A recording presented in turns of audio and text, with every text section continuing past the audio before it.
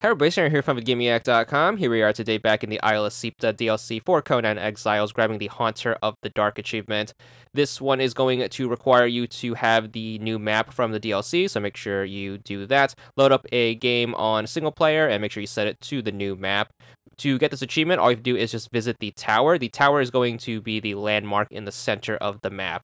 Fastest way to do it is to open up the settings, go into server settings, make sure you make yourself an admin. That way you get access to the fast travel system. Then make sure you hit the start button, go over to the map tab, and then we are going to use the admin teleport to warp ourselves over to the tower. It should be this giant circle in the middle of the map, very hard to miss. Warp over there, and then once you set foot, you should be good for the achievement. So it should say you discovered the tower, and then your achievement should unlock. There's the tower, and there is the achievement. 10 gamer score, and that's all there is to it.